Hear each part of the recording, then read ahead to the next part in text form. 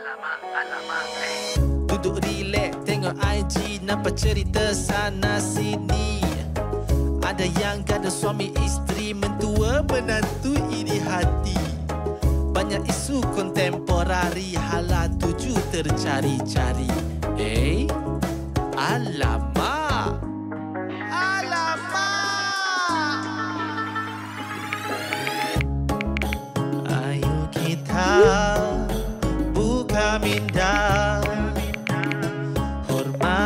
Hormati antara kita. Kupas masalah Bersama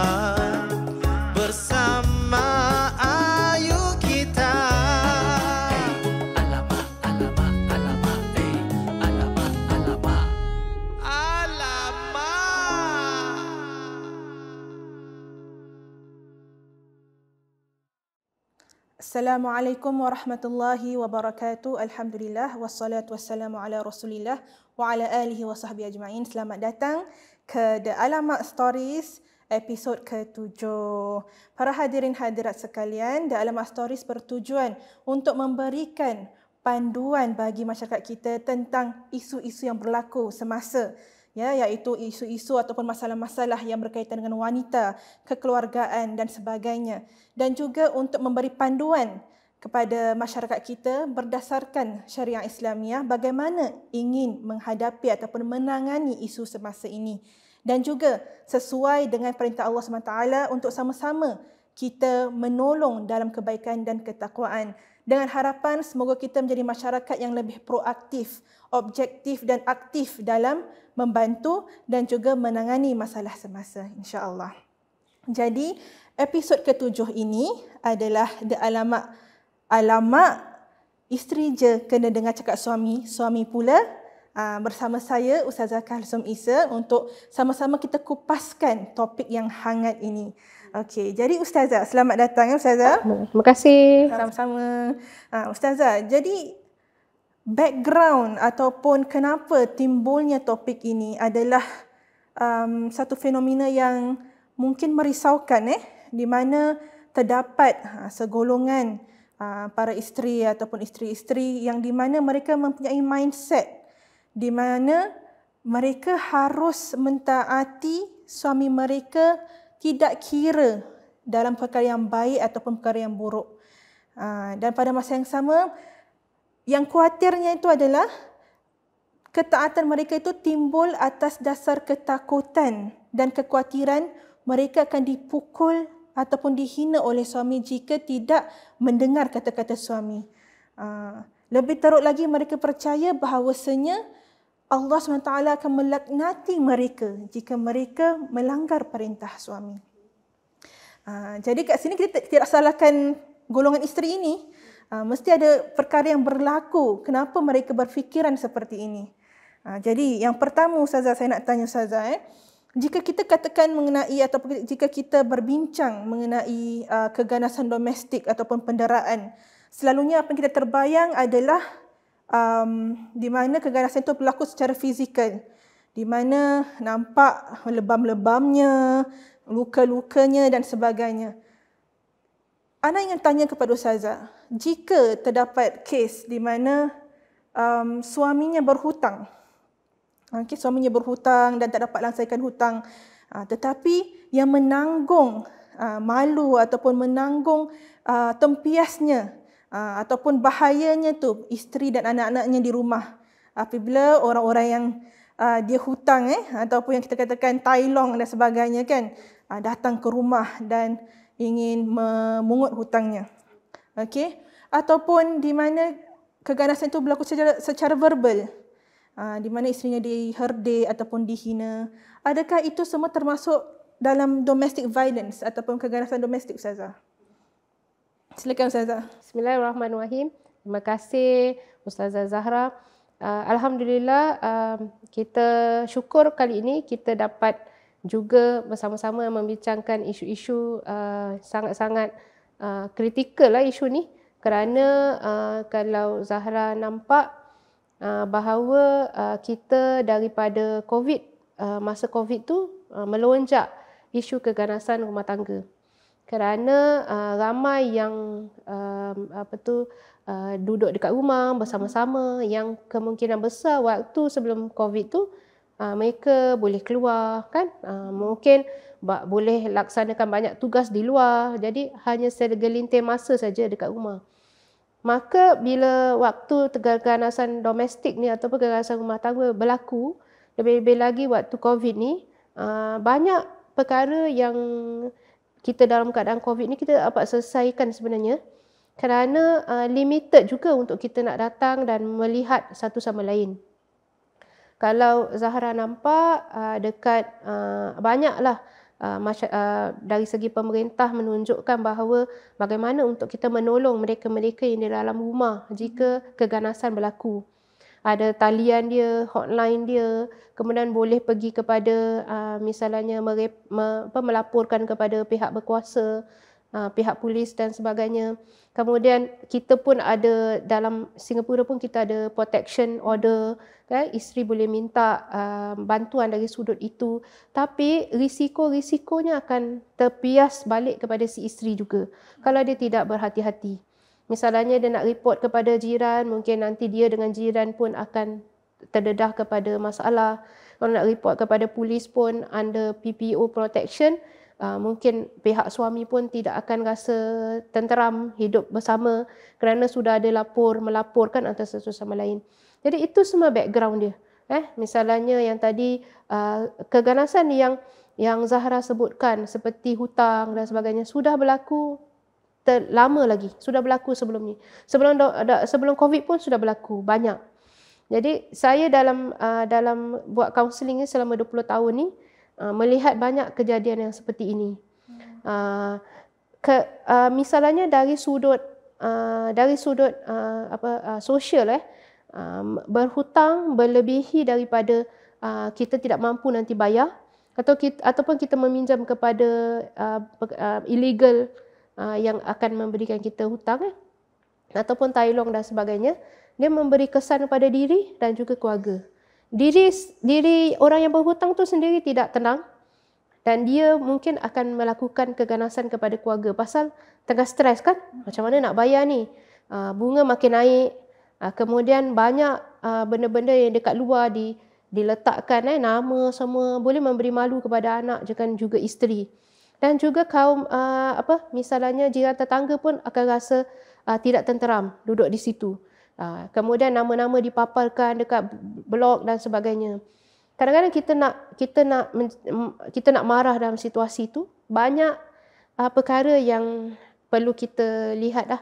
Dia bukan hanya keganasan tu sekali hanya hanya keganasan saja tapi bagaimana masyarakat kita uh, membelanjakan sesuatu mengikut kemampuan. Ha, itu balik kepada banyak segi lah eh. Ha, jadi diharap dengan perkongsian kita pada hari ini membuka minda kepada uh, especially kepada kedua ibu bapa, kepada masyarakat, kepada isteri uh, bagaimana uh, kita itu uh, mengelakkan daripada berlakunya stres dan akan mengakibatkan kepada keganasan rumah tangga. Banyaklah Zahra eh yang kita perlu lihat sebelum terjadinya keganasan rumah tangga. Eh?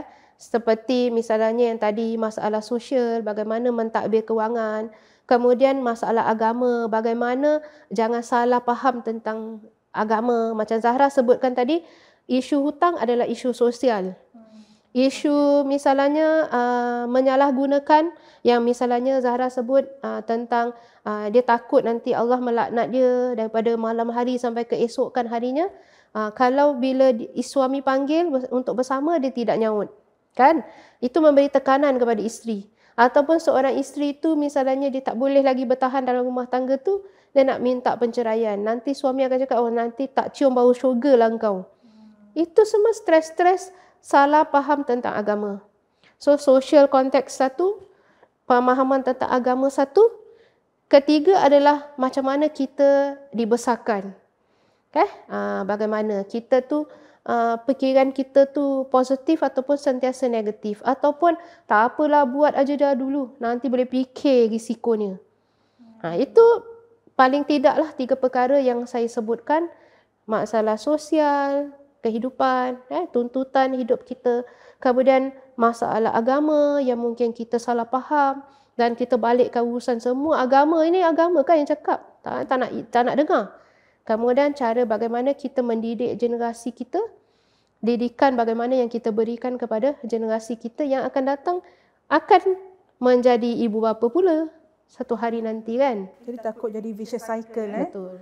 Ha, jadi daripada um, jawapan ustazah atau hmm. perkongsian ustazah hmm. terdetiklah hmm. lagi dua soalan daripada saya ya. eh.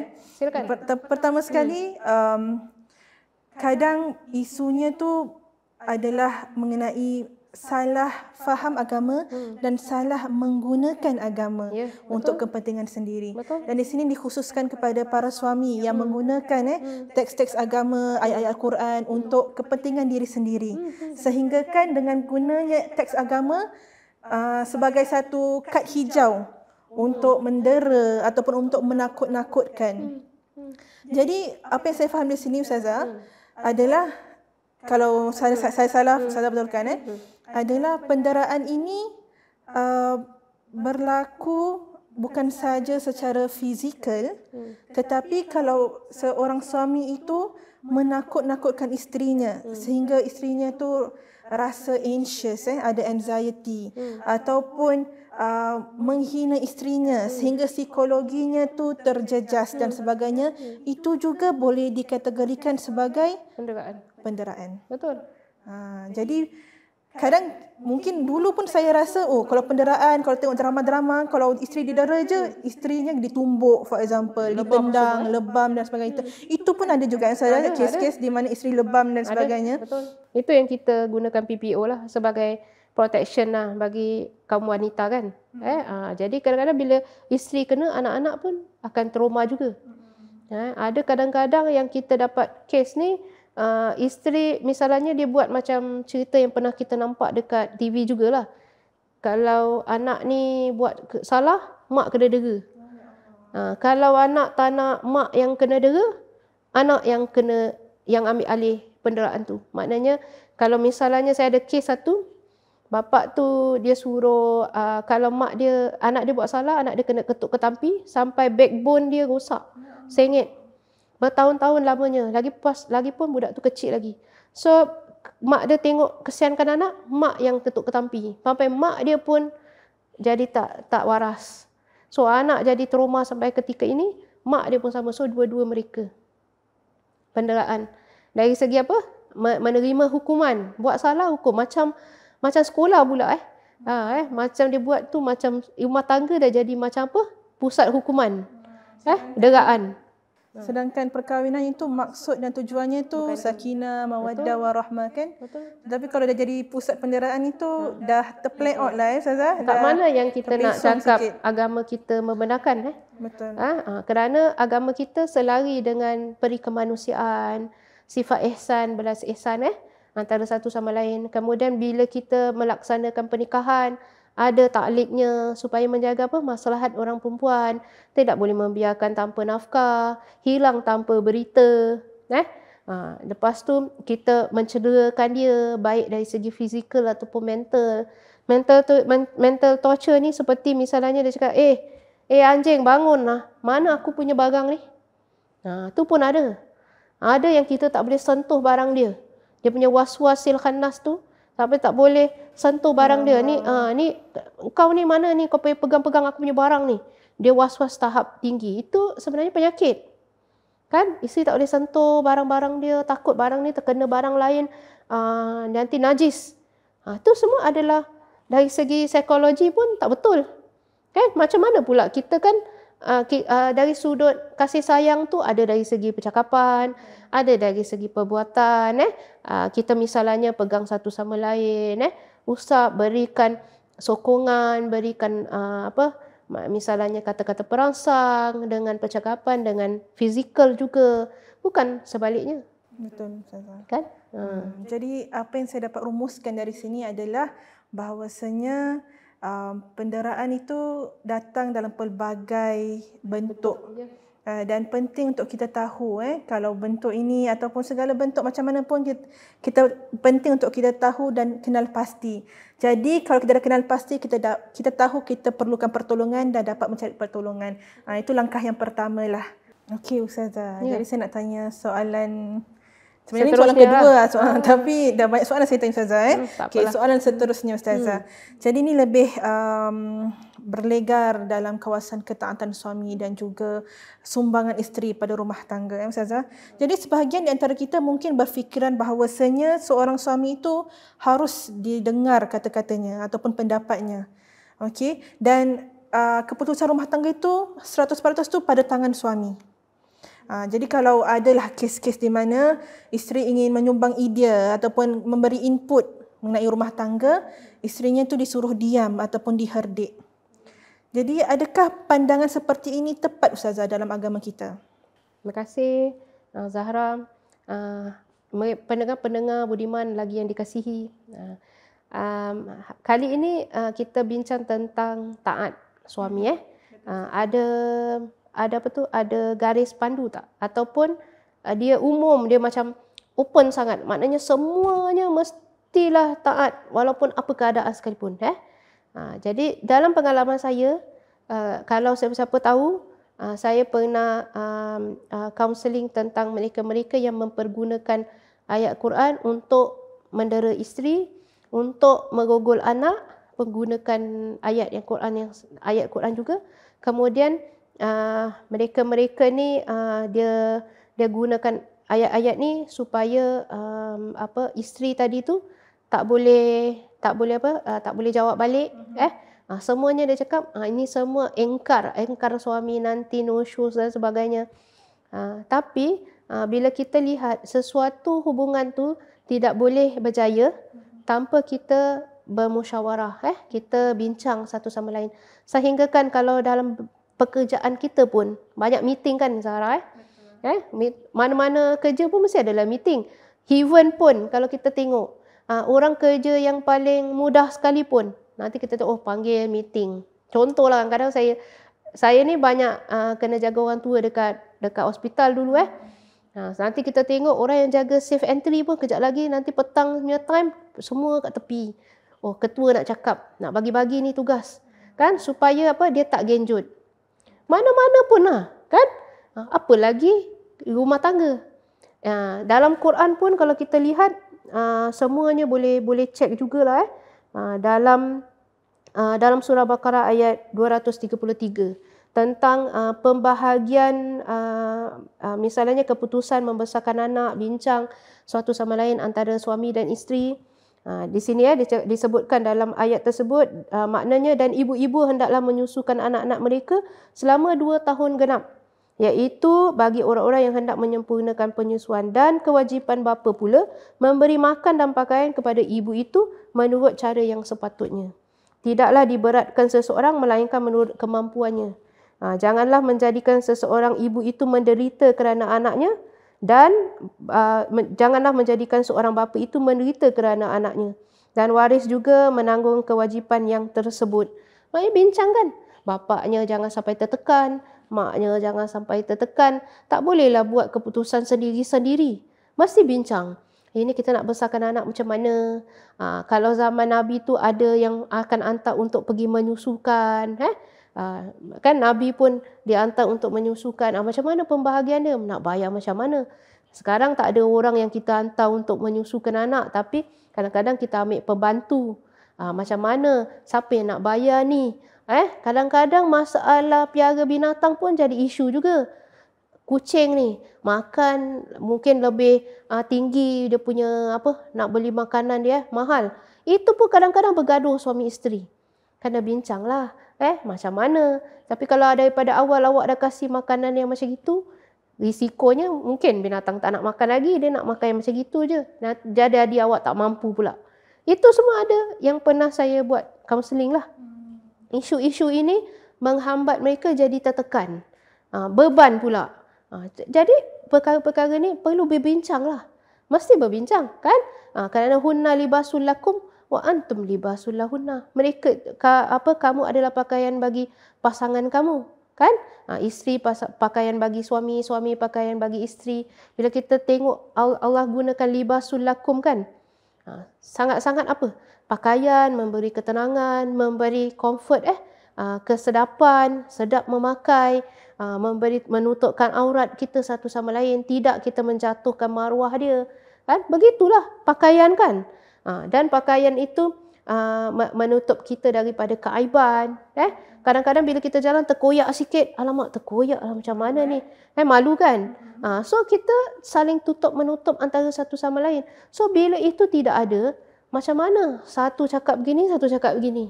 Hmm, eh? kalau satu cakap hmm. A lagi satu cakap B. Macam mana? At the end of the day tu macam mana kita nak dapatkan macam mana satu kita kata nak putus? dapat kata putus? Ha, macam Betul mana tak? Ha, jadi uh, takkan kita nak main uh, undi pula scissors paper stone eh. Hari ni suami punya cadangan, besok isteri. Boleh jugalah kalau itu jenis jenis masalah pun nak tengoklah. Kalau misalnya satu cakap nak pergi uh, uh, cuti ni nak pergi zoo lah satu. Yang satu cakap nak pergi rumah mak agaknya rumah bapak. So bolehlah bagi-bagi tak apalah. Hari ni kita pergi zoo dululah tengok keadaan eh. Uh, mungkin cuaca tengah panas ni kita pergi zoo uh, bagus. Uh, esok lusa pun kita tak tahu. Sekali hujan tak dapat pergi zoo pula. Uh, besok lusa nanti kalau hari hujan ke apa bolehlah pergi rumah mak ke mak mentua. So bolehlah juga kita bagi-bagi. Tapi tak semua urusan boleh scissors paper stone. Eh Ha, mungkin kadang-kadang perlu fikir, perlu istihara mungkin kalau sesuatu perkara yang besar. Mungkin suami nak pergi kerja luar negeri. Isi kata mungkin beban ke macam mana ni kalau suami tak ada. So itu kan jangka masa yang agak um, memerlukan pengorbanan yang besar. Istiharalah dulu. Janganlah sampai apa tu bergaduh pula nanti. Sampai suami kalau dah tak ada, isteri rasa tertekan semua tanggungjawab dia nak kena buat. Akhirnya nanti uh, berpaling pula cinta kepada yang lain. Mungkinlah boleh terjadi pasal terlalu jauh sangat hubungan tu sudah tidak apa uh, dah lama sangat berpisah. Uh, jadi dalam Islam semua ada. Nabi sampai uh, misalnya prajurit kalau pergi berperang ke apa Nabi tanya, so isteri boleh tanpa suami berapa hari? Kerana apa Nabi tu memahami uh, satu sama lain, keinginan satu sama lain.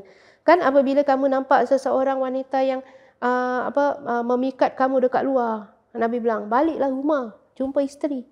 Uh, misalnya gitu kan. Bermakna uh, Nabi itu memaham perasaan-perasaan uh, misalnya umatnya. Perasaan-perasaan manusiawi. Dia faham. So kita tu apa-apa pun perlu berbincang lah. Eh? Tidak boleh kata putus hanya dibuat oleh seseorang sahaja. Kalau kadang-kadang ada masa isteri kena buat keputusan, ada masa suami kena buat keputusan kalau kita cakap ni hanya seperti ini, kita balikkan kepada kehidupan baginda Nabi. Ada tak Nabi berbincang dengan isteri dia? Selalu. Kan? Ha, selalu. Bila ada kadang-kadang nak pergi uh, nak pergi apa tu, nak pergi musafir kan dan sebagainya, uh, rotate siapa yang nak ikut. Ha, siapa nak ikut uh, apa uh, antara isteri-isteri itu siapa yang nak ikut. Ha, tidak ada uh, misalnya kita lihat kegenjotan. Sampaikan satu dizalimi satu aja di apa di uh, diberi hak dan lain pula dizalimi. Tidak ada. Kan? Berbincang nabi. Walaupun waktu ketika itu uh, isteri nabi kita tengok berbagai-bagai umur. Uh, Sayyidatina Ayah Hadijah lebih tua daripada nabi.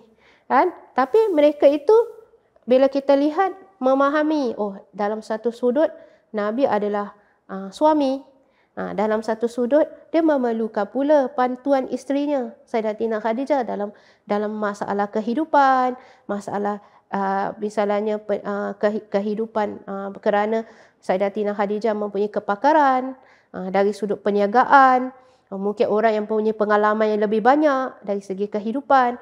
So nampak tak? Eh? Ha, bila Sayyidatina Aisyah pula ke budak-budakan, bagaimana pula Nabi melayani ikut sesuai dengan umurnya. Jadi nampak tak kesesuaian? Kan? Ha, jadi kita tidak boleh hidup uh, dalam satu rumah jika satu orang aja mempunyai kuasa veto. Ha, kan? Ha, apa-apa nanti kita bilang, oh saya ni, uh, cuba Zahra fikirkan kalau seorang tu dia tak dapat apa yang dia inginkan sentiasa. Ha, lama-lama kadang-kadang dia akan cakap dengan anak dia, kita tak boleh buat apa-apa. Eh, ni semua keputusan mestilah bapa yang buat ataupun uh, suami yang buat, kita tak boleh buat apa-apa. Asyik-asyik tak boleh buat apa-apa, tak boleh buat apa-apa. Apa jadi tentang nilai-nilai kehidupan dia dekat dalam ni? She is very down. Kan? Down. Ha, apa-apa pun tak boleh. Apa-apa je. Ha, ni mesti tak boleh buat punya lah. Ni mesti tak boleh buat lah. Asyik tak boleh aje. Tak pernah kata orang kata, tak apalah boleh saya bincang. Apa salahnya? Ha, kita bincang. Tampaikan mungkin nak buat satu urusan uh, apa ibadah pun, oh tak boleh lah ni mesti tak boleh ni. Ha, ha, tak boleh.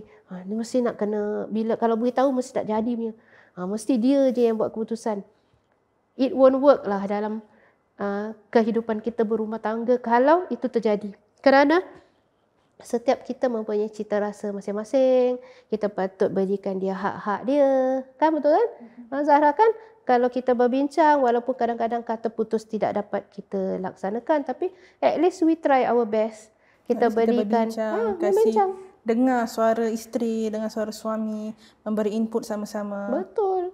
Even kan uh, Saidina Umar yang begitu garang pun waktu dia ditegur oleh seorang wanita kan tentang hukum yang dia keluarkan sampaikan dia bilang apa?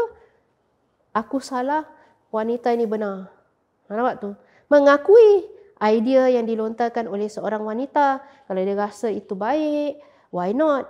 Kita pertimbangkan kan? Tidak ada perbezaan antara dia isteri ke dia wanita ke yang kita tidak mahu berikan dia hak untuk bersama-sama dalam pembinaan rumah tangga dan juga keluarga dan juga masyarakat. Betul tak? Hmm itulah. Ya? Yeah. Hmm, jadi uh, secara rumusannya Ustazah hmm. dalam uh, dalam rumah tangga ini uh, bukan saja keputusan tu di tangan suami betul tetapi isteri juga sama-sama mengendalikan hmm. uh, dan juga sama-sama kalau orang kata kapal mengemudi kapal tu eh hmm. uh, jadi tidak boleh tidak apa kalau satu nak ke sana satu nak ke sini hmm. tak jalan kapal tu Ha, betul. Eh? Hmm. Jadi hmm. macam kalau saya saya suka buat analogi macam kita anu steering wheel. Perlu dua apa dua tangan kan. Hmm. Tapi sometimes ada tangan yang dominan sikit. Ya yeah, betul. Ha, untuk kita pusing ke kiri, pusing ke kanan kan. Tetapi perlu juga dua tangan untuk sama-sama kereta tu ke depan. Untuk jalan. Ha, yes. Hmm. Jadi pada masa yang sama juga saya rasakan Ustazah, yang pentingnya tu juga suami isteri harus tahu tanggungjawab dan hak masing-masing jika uh, kirakan jika dua-duanya tahu hmm. hak masing-masing, tanggungjawab masing-masing dan memberi hak dan melakukan tanggungjawab, tiada yang akan rasa terzalimi. Tiada hmm. yang rasa macam terpinggir. Uh, hak diberi, tanggungjawab dilaksanakan. Uh, jadi Tapi ini dua-dua untuk cari semua yang tahu hak dan tanggungjawab dan melaksanakan tanggungjawab yang uh, diberikan Uh, memanglah kita ni tak perfect kan. Betul. Uh, dia tak perfect. That's why kita nak kena be very humble lah. Kita nak kena tawadu. Uh, kita tak boleh besar diri, tak boleh ego. Pasal end of the day kita tahu uh, untuk nak memajukan rumah tangga kita biar dia selamat, berlayar dengan baik, berjalan dekat jalan raya dengan selamat, eh tanpa langgar mana-mana tu kita tahu kita ni tak perfect eh kita pasal kita perlukan kadang-kadang buah fikiran daripada okay. orang lain even kalau kalau Zahra sebut pasal bawa kereta ah, kita kadang-kadang sebagai passenger dia ke apa orang sebelah dia kadang-kadang driver tanya juga eh macam mana ni nak jalan boleh jalan sini kan boleh jalan sini kadang-kadang tengok GPS tak jalan oh, tak boleh lah ni jauh dia pusing kita need orang lain punya idea untuk membantu. Dia pula tahu jalan ringkas, jalan pendek, shortcut. Kita pun ikut dia. Tak bolehlah kita cakap, eh aku bawa kereta ni ah dah, dah 40 lebih tahun tau. Ah, aku lagi tahu. Ah, kadang-kadang dia tanya kita juga kan. Kerana ada, eh? Hmm, sifat humble lah sebagai di, dalam hidup ni. Janganlah asyik kita bilang dah baik tu aku nak engkau. Aku kahwin yeah. aku kahwin dengan kau. Janganlah macam gitu. Itu pun one of the form hmm. of uh, mental abuse eh. Betul. Uh, seolah-olah macam dia orang kata, tu tak ada self worth. Betul. Dia, mas, olah-olah macam kalau kita tak kahwin dia, dia tak kahwin lah. Hmm. Dia tak kahwin eh. Janganlah macam itu. Dah baik tu. Ingat dalam diri dah baik ada orang sudi. Nak bersama-sama kita melayari bahtera tersebut. Kerana end of the day kita tahu uh, bahtera yang akan kita bawa ni penuh cabaran dan dugaan dalam kehidupan. Eh? Betul tak? Betul hmm. Ustazah. Uh, dengan itu penting untuk kita sama-sama bermusyawarah. Betul? Sama-sama kita humblekan diri kita, eh, rendah hmm. diri. Kalau kita rasa diri kita tak sempurna, pasangan kita pun tak sempurna, Betul. di situ timbulnya faham, oh mungkin ni kekurangan dia, hmm. ha, kelebihan dia macam gini dan sebagainya. Wallahu a'lam. Betul. Okey Ustazah, ya. soalan seterusnya. Ya. Okey.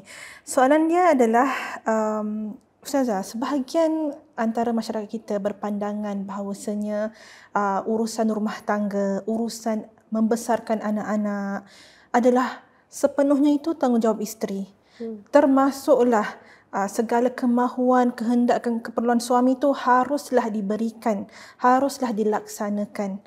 Ha. Jadi jika tidak dilaksanakan dikatakan sebagai derhaka ataupun uh, tidak mentaati suami ataupun tidak menyumbang kepada uh, rumah tangga itu. Jadi soalan saya pada ustazah, adakah pandangan itu tepat? Okey. Terima kasih Zahra, Ustazah Zahra dan juga penonton sekalian, pendengar budiman kita.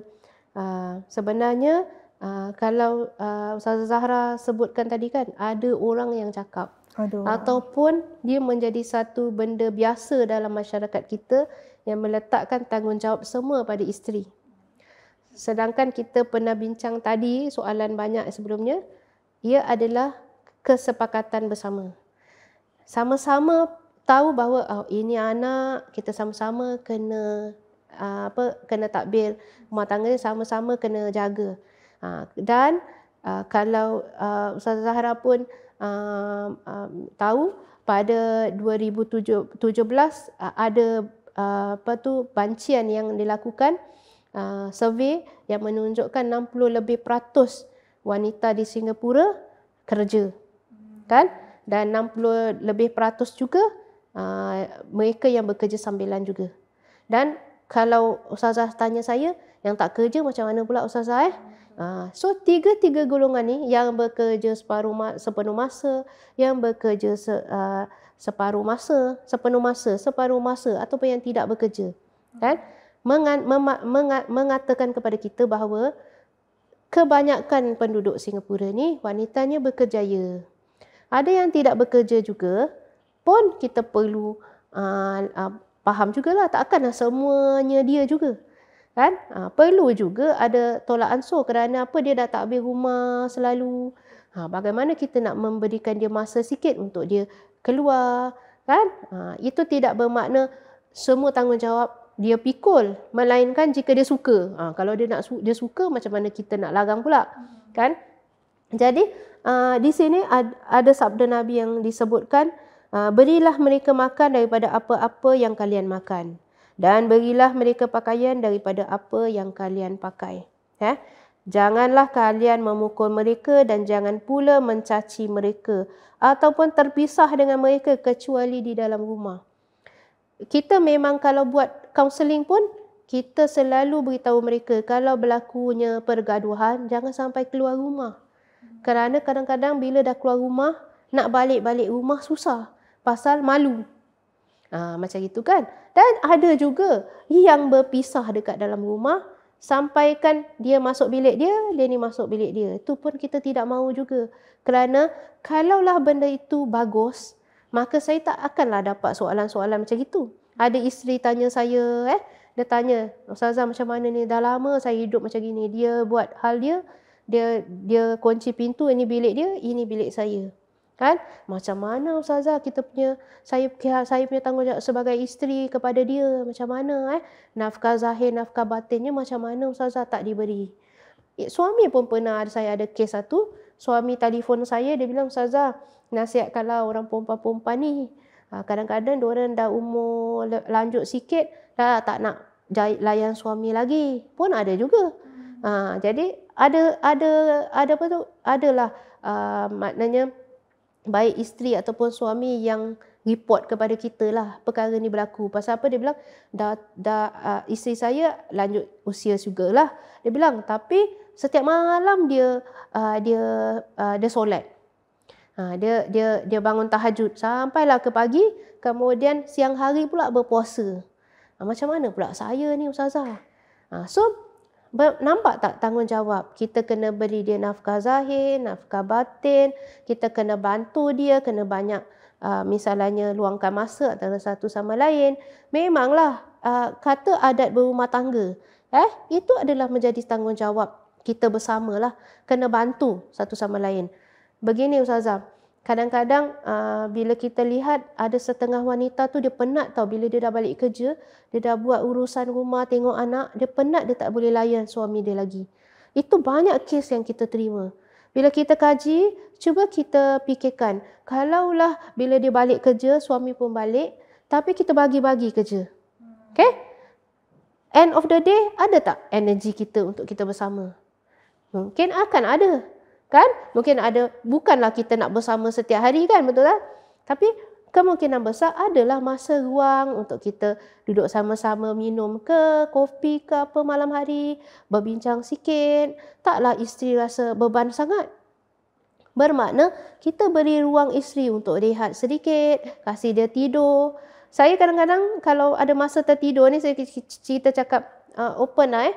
Suami saya takkan kejut saya. Nanti dia tolong lah apa, tengok budak ke apa, dia kasih saya masa tidur sikit. Pasal tanggungjawab banyak kan. Ha, maka dia dia diamkan saya. Pasal apa? Saya perlu energi sikit untuk tampung. Pasal kita mana kerja, kemudian kita uh, kita uh, me, me, me, apa kita buat kerja-kerja sukarelawan dan sebagainya. Yang kita hari ni, Zahra pun datang sini, saya pun datang sini. Siapa yang uh, buat kerja-kerja rumah kita? Suamilah kan? Ha, macam itu nanti Zahra pun berumah dah, dah, dah ada anak semua nanti suami pun kena tolong Zahra juga. Baru Zahra boleh datang sini. Baru saya boleh datang sini. Kalau tak kita tak mampu untuk buat semua kerja. Kan? Kerana kita pun ada batasan Tuhan berikan tak apa kekuatan. So kalau end of the day dia tak tolong isteri dia dan dia nak harapkan lagi satu pula tanggungjawab isteri melayan dia sudah tentu dia tidak mampu. Maka kita mengharapkan dalam perbincangan kita hari ini figure seorang suami bapa ha, sempena hari bapa ni kan kita nak ucapkanlah hari bapa kepada semua bapa-bapa ni. Figure seorang suami figure seorang bapa untuk menolonglah dalam kerja-kerja keluarga eh? Ha, kita, yang mana sudah melaksanakannya alhamdulillah syukur. Kita teruskan dan pertingkatkan usaha untuk membantu. Kerana pasangan kita pun adalah manusia biasa yang tertakluk kepada apa yang Nabi sebutkan, siapa yang memudahkan urusan saudaranya, Allah akan memudahkan urusannya di belakang hari. Dia hari yang Allah tidak uh, apa tidak dapat pertolongan melainkan pertolongan Allah. Bukan ke isteri kita pun manusia biasa yang perlu kita bantu kan? Betul kan Zara? Ya, kita bantu. Janganlah asyik uh, kera di hutan disusukan anak di rumah mati kelaparan. Ha, asyik-asyik tolong orang luar je. Orang dalam rumah macam mana?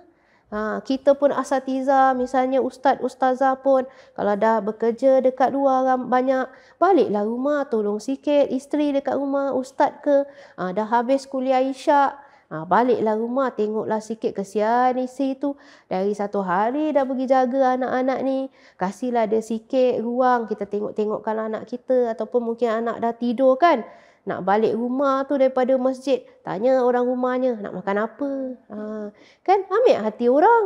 Ha, itulah yang kadang-kadang saya pun dah pernah. Kadang-kadang satu hari pun saya suami baru balik mengajar. Saya bilang, nak, uh, nak pergi ke minum-minum sekejap? Minum aja pun eh minum sekejap kat luar ambil hati dia sikit. Uh, beri uh, apa walaupun kita tak ucapkan terima kasih kadang-kadang the way kita react menunjukkan terima kasih lah kerana bantu saya banyak dari segi urusan uh, uh, apa kehidupan. Kalau tak kita tak mampu Zara.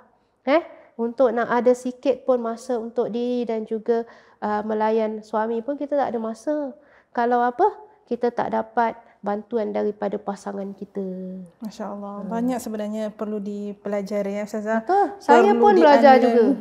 Betul. Eh? Ha, saya pun sentiasa belajar juga. Ha, kan dengar kadang-kadang ha, bila kita mengajar, kadang kita tanya orang-orang veteran-veteran kita, Cik macam mana Cik? Ha, kan? Ha, ada cakap sabar Ustazah gitu gini. Tapi it's a process of learning eh every day kan? It's a process of learning. Betul tak Zara? Betul. Ha. Jadi kita kita sebagai seorang isteri ataupun seorang suami harus juga mengambil inisiatif eh untuk belajar, terus belajar. Betul. Yang perkara-perkara yang kita rasa betul tapi sebenarnya tak betul pun kita harus berani untuk unlearn eh. Betul. Dan kita relearn balik perkara-perkara yang sebenarnya selari dengan agama kita. Sekarang kalau misalnya kita baru berumah tangga, kasih sokongan kepada orang-orang muda ni. Ah cari sikit khusus kewangan, mentadbir hmm. rumah tangga.